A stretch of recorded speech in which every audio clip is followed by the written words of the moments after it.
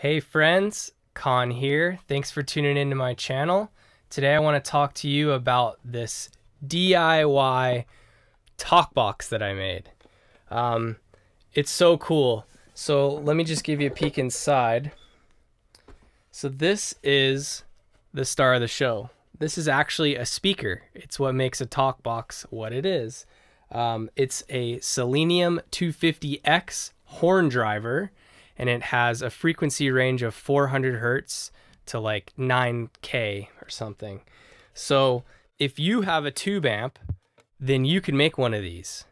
Um, so this is an 8 ohm speaker, and so I'm going to plug it into my amp, and instead of plugging my amp into the speaker like you normally would, I'm plugging it into the jack right here, which basically is then wired to the speaker.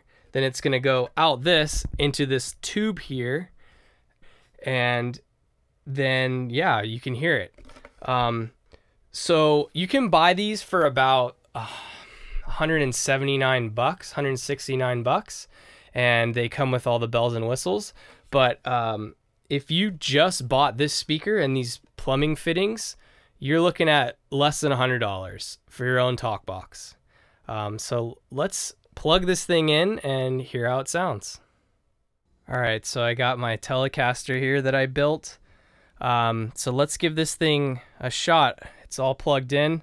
Um, I have some pedals here. The pedals really help because you need to bring out those harmonics like distortion. Uh, if you hear it right now, you you can't really hear much.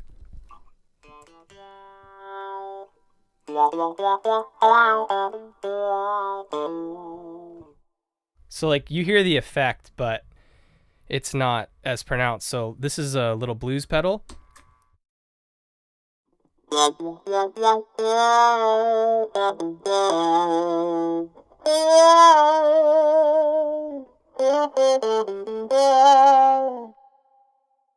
And then here is a tube drive pedal.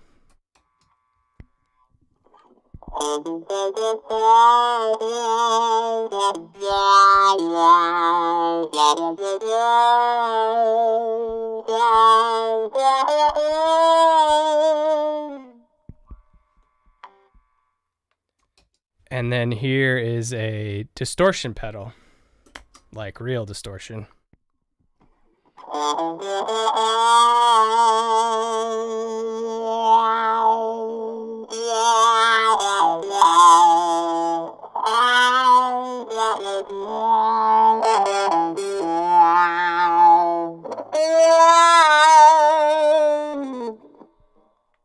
So you can hear kind of the little differences. Um, but let's play with a track just for fun.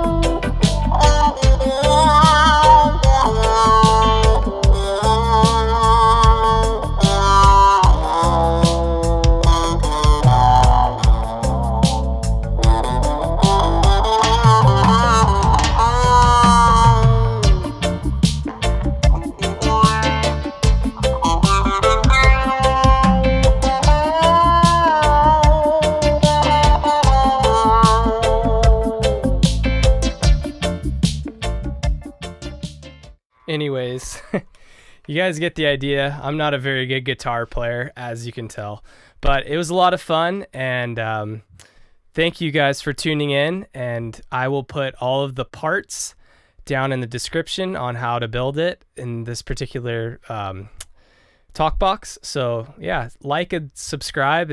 I really appreciate it. And have a wonderful day. Peace. Oh wait, there's more. For those that actually want to build this thing, I'm going to show you a little bit more details. So this is the template that I made once I got the speaker. I did some rough measurements and I figured what parts I needed in order to make this thing work. So I bought a piece of cedar from Home Depot. And you can see that here. It was just a fence post. Um, I kind of made these measurements so that I would get rid of as many knots as I could. Um, but back to this, uh, you can see that I needed to do some angles here. So this was kind of the hardest part is uh, figuring out how to cut it and sand it and all those angles, but it wasn't too bad. So after I cut it, I just glued it together. Um, I didn't use any screws or anything, just wood glue and clamps. So that's one picture of that. Here's another one. Um, and then as far as the wiring goes, um, this is just a TRS cable, like a guitar jack cable. So you have to make sure that the black goes to this guy, which is the middle. Um, and then this one is actually connected to here. So that's your positive. And you can also see the capacitor here. The capacitor is used in um, filtering out some of the low end of the signal. So that's important. Uh, here is a close up of the fittings and stuff. So this is just a piece of tubing. It's like inch and a quarter tubing. Inside of here is a three uh, a three quarter inch female coupling that I had to like cut down. They had some ribs on the side of the fitting. I just cut them off with a knife. This is a three quarter uh, male by half inch female on the inside bushing, and this is a half inch uh, male by half inch OD barbed fitting. Yeah, you can get those at Home Depot. And then here's a photo of it just kind of chilling in there. Uh, here's a picture before I mounted it and the wiring. So this is important. You need your negative to go to negative, obviously, and your positive, we're going to go in line from the signal in through the capacitor to the hot jack. And that will, in essence, filter out some of the low end. Um, here is a picture, a couple pictures of after I used a polyurethane. And this is the final product. Uh, here's a video of like right after I polyed it. You can see it's nice and shiny. And yeah, I was doing it one-handed.